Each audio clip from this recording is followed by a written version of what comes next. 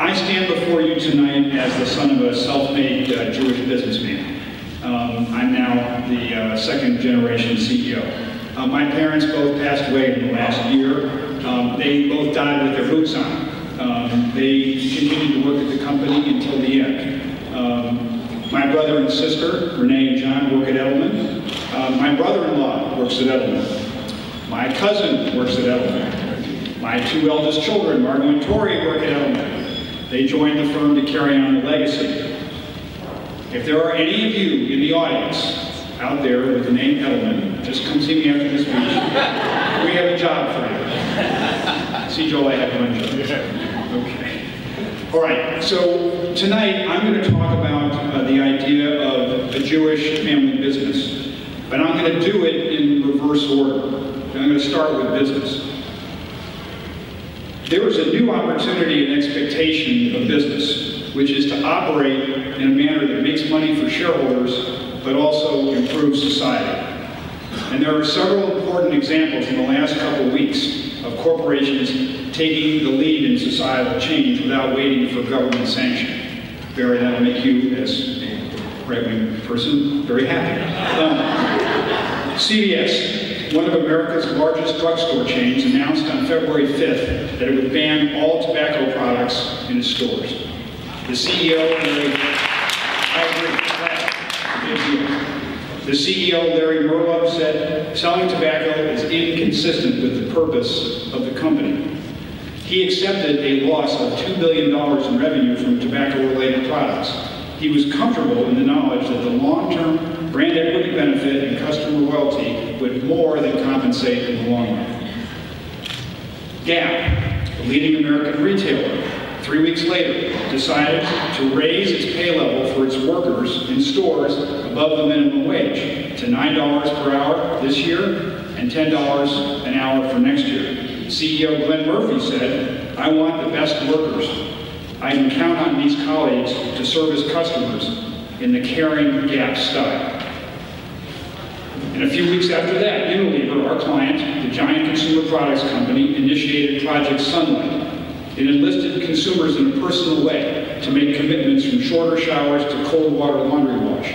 70 million people have signed on to do acts of goodness in six countries.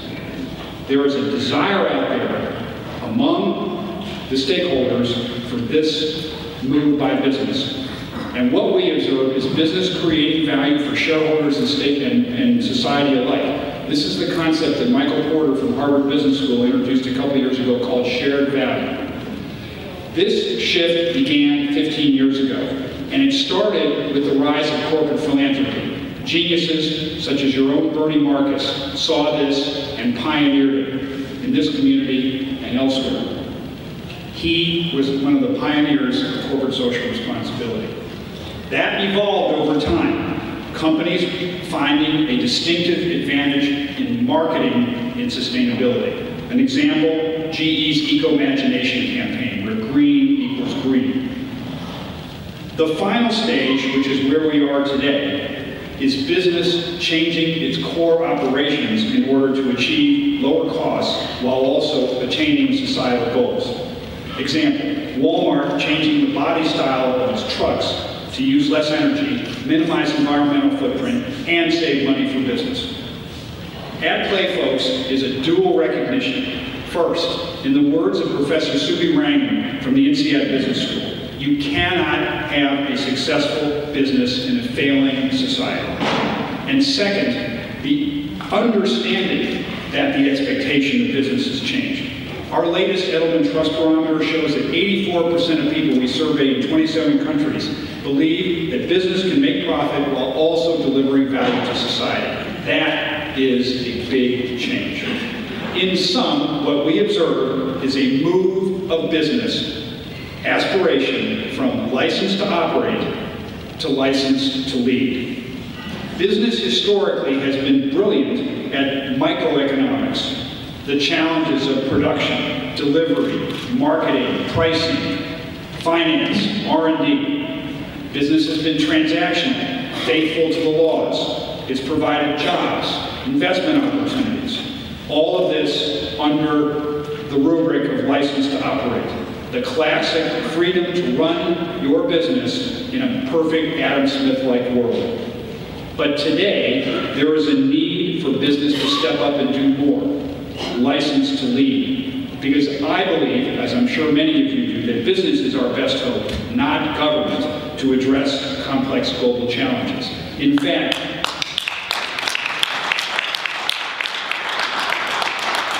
Sheldon Adelson wrote my remarks.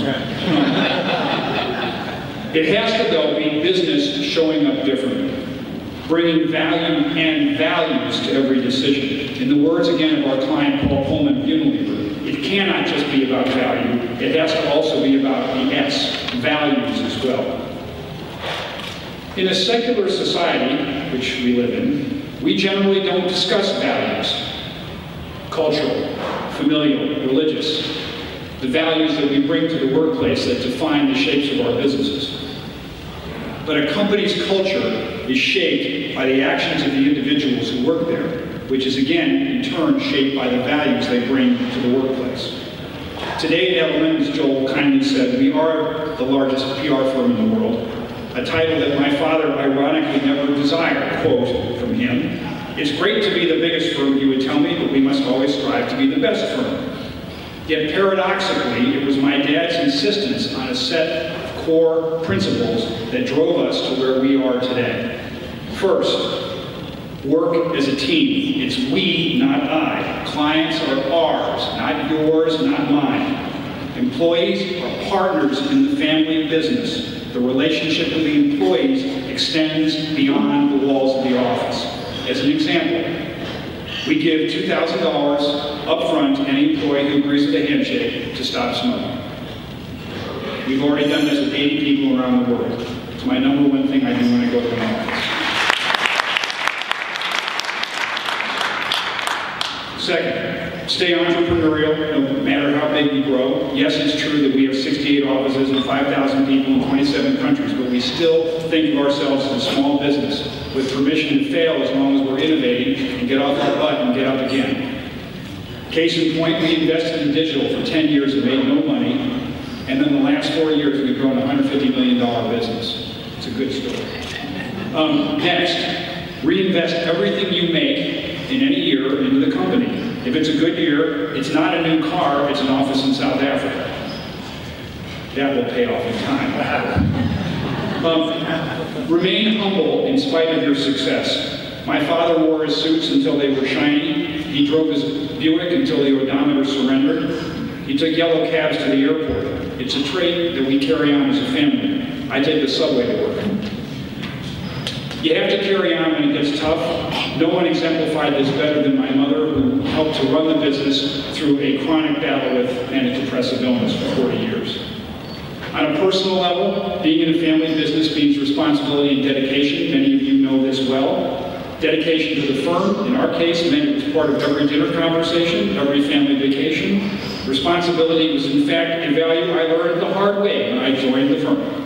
I had spent two very hard years at Harvard Business School toiling to get my MBA. I was planning a vacation in Europe with a very attractive young lady as my reward before starting work in September. However, at the end of May, Edelman won a client in commodity brokerage, a subject I had covered extensively in my senior thesis in college. So I got a call from my father um, at the beginning of exams who said I had to begin work on the Monday after the exams ended on Friday, so much for the vacation and so much for that young lady. Oh well, I'm still a friend of hers. It took 20 years to become a friend of Um, yeah. Being in a family-owned business also means a relationship of trust with your father and mother. Um, they were willing to let me, at the tender age of 26, take over a struggling New York office with 12 people to see whether I had the right stuff. Fortunately for um, us and our relationship, five years later, the New York office was the same size as the founding office in Chicago. Trust also meant that my father and I had an unspoken understanding. We had to give each other space. I started in Chicago and moved to New York. There are 733 air miles, to be precise, between Chicago and New York. I needed space. Yep, we talked every day. We had a relationship of trust, but we had very different operating styles. For all of you who have kids in your business, and I'm trying to absorb this lesson from my third generation, the kids who work with me, my, my daughters, you got to give them room. They're going to be different than you are. Let them do what they're going to do. They're going to fall on their face, let them fall on their face. But you cannot, cannot put them under your thumb. Bad. Lastly, being in a family business means that we've made a very conscious decision to remain a family-owned business. As Joel said, the um, obvious play was to sell out to one of those holding in so doing, by staying a family business, we preserve the right to put the interests of our employees and our clients first. And customer centricity, in my view, is what makes family companies more trusted. Again, the Edelman Trust Barometer shows family companies 50% more trusted than their public company counterparts. And yet, the soul of our firm, while shaped by these principles, is actually defined most by values that you can say are essentially Jewish values. For my dad, being Jewish meant running an ethical business at any cost. Let's be clear, there are plenty of examples of unethical business people of our religion, Madoff, etc. But my father believed deeply that being ethical in business was the most important manifestation of his Jewish faith. I'll never forget a senior Edelman executive telling me the story of a large foreign client ostensibly visiting my dad in Chicago to congratulate him on winning his account. In the course of the conversation, the client asked for a 5% commission for delivering the business to Edelman. My father raised his voice, stood up, got deeply red, and said, quote, Get out of my office before I kick you in the pants.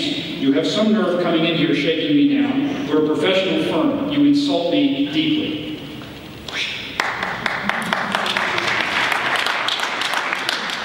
Further, my father believed in the ethical practice of public relations. No front organizations, no black operations spreading malicious rumors. In fact, he took on one of our large, larger competitors in those days that had gone to work for the Church of Scientology. Not every client deserves representation. I agree. I agree with you. Um, running a Jewish business, family-owned business, also means dedicating oneself to the community. My father and mother devoted time to boards such as the Lyric Opera, Art Institute of Chicago, University of Chicago. He also, though, was very much about pairing up our clients with charities. He did one of the very first between Kentucky Fried Chicken and the March of Dimes. We took on pro bono clients such as Save the Children um, after the tsunami uh, in uh, Asia. Um, he also has encouraged Edelman colleagues to volunteer in the communities. In fact, the Edelman Foundation regularly gives away several hundred thousand dollars in matching grants to people who want to serve on boards. We've been very active, for example, in Atlanta, donating um, time to distribute 3,000 food packages for the uh, hungry with the Open Hand in Atlanta. But most profoundly, let me say that the most important Jewish value is the constant search for a better life and the relentless pursuit of self-improvement. Because that is at the core of the Jewish experience. My paternal great-grandfather, Abraham Isaac Edelman, was a rabbi in Minsk, Russia. In 1884, he told his family, I'm taking off for the New World. Um, I'm leaving you behind. I'll send money when I can and see you in a couple of years. So two years later, having established himself in Brooklyn, he sent enough money for a steerage passage for his five people, four kids and, and, and wife, on a boat uh, that departed from Hamburg, that stopped in Liverpool and then made it to New York City. My great-grandfather saw his children through college into marriage and then ultimately grandchildren, my dad, and then still seeking self-improvement, asked his son for a one-way ticket to the Holy Land in 1921, and he was 82 years old. He went there and served his students with such distinction that on his gravestone, which I have seen on the Mount of Olives, the inscription reads, and his students drank wisdom from his lips. The relentless pursuit of self-improvement, exemplified by my great-grandfather, embodied by my father and mother, remains the defining influence for our firm. I tell you about the values of my Jewish family business, not just because I'm proud of them, but because I actually believe that business cannot inject value into society without being driven by a core set of values. As members of the business community, we each have a role to play in the former, but we bear accountability for the latter. My great-grandfather's Kiddush cup sits right on my desk in my cubicle in New York, we all have cubicles, um, it's exactly eight miles from where he settled 129 years ago. It is true that it is a religious object, but it's also a symbol of where I come from, and I think about that all the time. The story I've told tonight is the story of how business has to do more than business as usual. But in fact, what I'm talking to each of you about is your individual responsibility. Because each of us in this room has his or her own story of the persistence of our values, which are quintessential Jewish values over time. It is true that technology changes, markets change, but principles do not. And the values that are the essential force for business that wants to do better in this world cannot change. Family, community, decency, honesty, hard work. And for business to be part of the story of humanity's greatest hope, it's on business to show up differently, and it's on all of us to carry values forward. I close tonight with a quote from the uh, book of Daniel that reminds me of my late parents and their lasting influence on my life. On my life. Quote, and the wise will shine like the brightness of the sky, and those who bring the multitudes to righteousness like the stars forever and ever. Thank you very much.